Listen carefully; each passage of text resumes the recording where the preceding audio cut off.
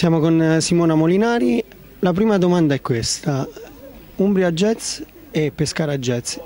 Arriva la consacrazione, possiamo dirlo ufficialmente. Beh, sì, è arrivata, poi io non, sono molto scaramantica, non, non, sì. non, diciamolo. No, no, nel senso sì, quest'anno è, è, è, un anno che, che credo proprio me, me, lo devo incorniciare. Io poi incornicio un po' tutte le cose che faccio, ma questo anno è tutto da incorniciare perché è come aver raggiunto tanti piccoli traguardi che, che, che forse dieci anni fa neanche immaginavo. Quindi è, è, stato, è, è un lavoro che è stato fatto negli anni con tanto sacrificio ma tantissima passione e, e dai suoi frutti.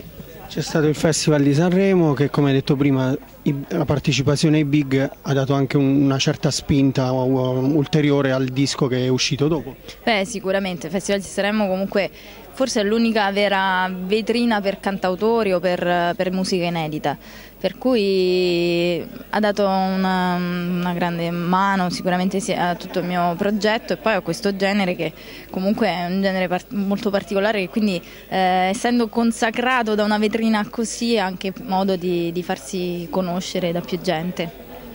Secondo te è il tuo disco migliore? Ma sì, io credo che gli ultimi due in realtà siano i, sono i miei, il mio preferito è proprio tua e credo che, che, che, in questi ultimi due anni forse il disco, sì, almeno come mondo musicale.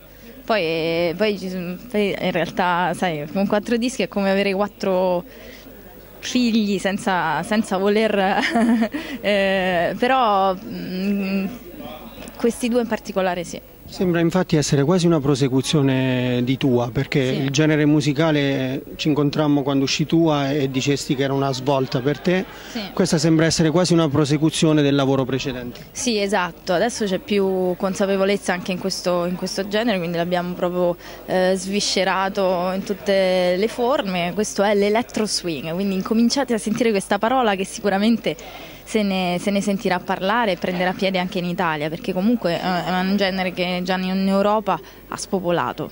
L'ultima è sul tour, è un tour estivo importante, oltre ai due festival c'è anche Verona Jazz, insomma ci sono belli appuntamenti. Sì, esatto, eh, questo è ancora più bello perché inserire anche questo, questo genere, questo mm, mio modo di fare musica all'interno del contesto jazzistico e venendo io da quel, da quel repertorio insomma mi, mi riempie veramente di, di, di gioia.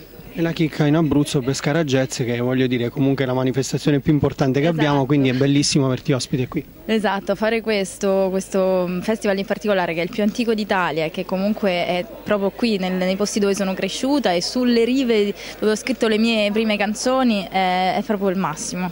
Grazie Simona, in bocca al lupo per il tour. Grazie, Grazie. a voi, ciao. Grazie a voi, ciao.